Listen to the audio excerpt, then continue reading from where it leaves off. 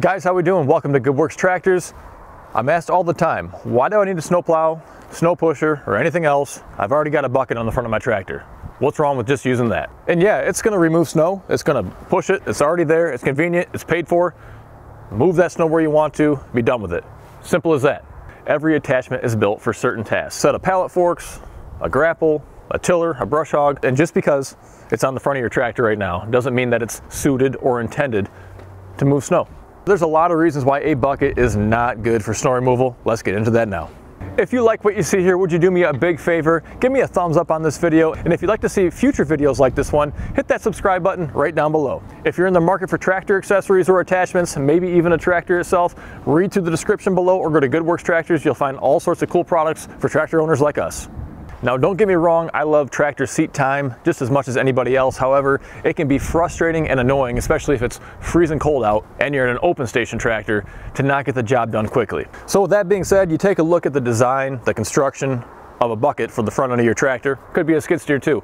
The point being, it's designed with a bottom, back, sides to trap and hold material, whether that's dirt, it could be mulch, it could be rock, it could be snow. The, the point is, is that it's gonna keep it inside there and not let it go without an effort from the operator.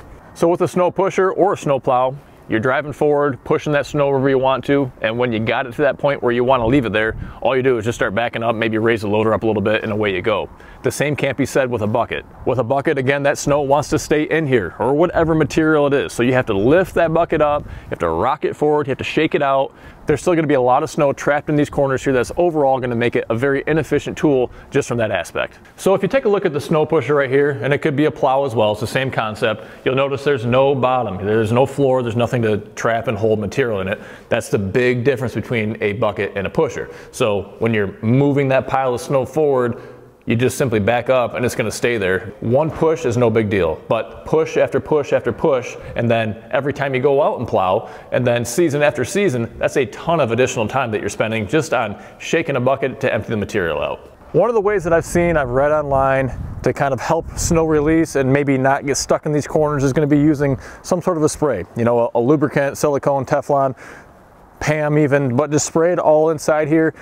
I've kind of seen mixed results. I'm pretty sure I even saw a thread on one of the tractor forums where a guy did a test with and without the Teflon or silicone spray inside of a snowblower. Didn't really see much of a difference in the result, but overall I think it didn't do any harm. So maybe it'll help you, maybe it won't, but it's something to look at if you're gonna use your bucket. Another consideration with the design of a bucket here is gonna be this bottom edge that comes along here.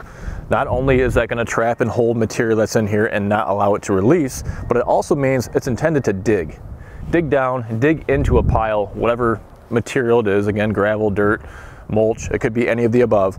But the point being is that as this is riding along that plowing surface, it's going to want to naturally just dig into whatever that surface is. If you have gravel, stone, even asphalt or a concrete surface, you catch any edges on there or loose stone, it's gonna maybe chip an edge, collect that stone, put it into your yard somewhere you don't want it. So you can see a bucket right here with a long edge designed to dig compared against a plow right here. It's gonna have skid shoes tucked underneath the bottom, or if you have a snow pusher, you'll have skid runners on either end that are gonna prevent this main leading edge here from digging down into the ground. The intent is to just kind of glide along with those skid shoes or the skid runners, not dig down, but just follow that surface there, the contour of it, take care of the snow and move that where you want to. So that's something very important to consider because that could end up costing you a lot of additional money repairing that damaged surface down the road. If you're concerned about costly repairs to the surface you're plowing, whether it's a gravel drive, concrete, asphalt, the same thing can be said for your bucket as well. Because this edge right here is gonna wear significantly and unevenly, meaning you're not gonna be able to use it very well for other digging purposes that it's really intended for. This edge right here is going to end up rounding off at the corners here. You'll see a lot of significant wear chewing up the main portion of this wear edge, and then it'll come back in and die off into these side plates right here. And once you get to that point, you're really making it unusable. However, if you really want to use your bucket, or maybe it's just a temporary solution until you can figure out a better long-term solution, there's some things you can do to prevent that uneven and unnecessary wear on your bucket edge.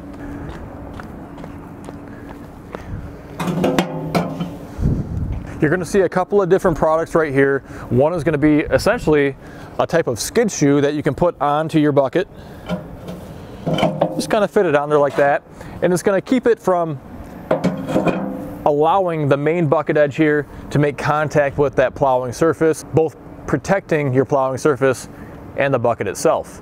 The trade-off is going to be the fact that your bucket is then going to be, oh, maybe three quarters or an inch above the plowing surface, therefore leaving a significant amount of snow behind. Another option you can look into is something like this poly, or UHMW it's called, a cutting edge that you can put onto your bucket, kind of mount it down underneath here, and make this the sacrificial edge instead. Not only is poly a good option for that, but this is very protective of paved surfaces as well anything like your asphalt or your concrete. A good way to sum up UHMW is that it's going to cut like steel but protect like rubber. Now some buckets are going to come pre-drilled, which this bucket here was already pre-drilled. You can see there's actually an additional steel edge on the bottom.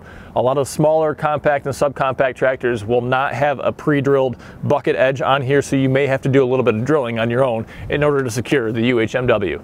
Now I will have links below in the description of the video if you want to get more information on where to buy skid shoes like this or the UHMW. While we're talking about edges on buckets, you know what, I had totally forgot I even had this. It's wintertime, you don't think about it too much, but this is a really cool option for the summertime.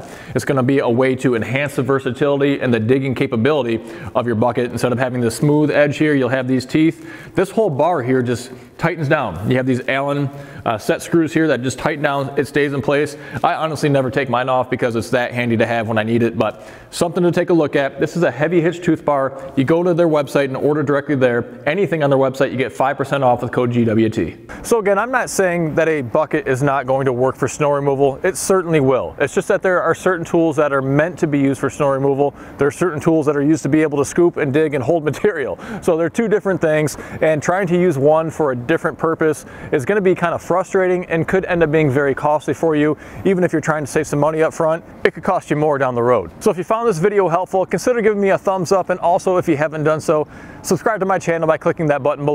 And as always, read through that description. You'll get helpful information, links on where you can buy those products like those skid shoes or the poly edge or maybe a snow pusher or a replacement bucket or a whole tractor. We can put together a whole package for you and ship it to you as well. Well, until next time, stay safe. We'll see you soon.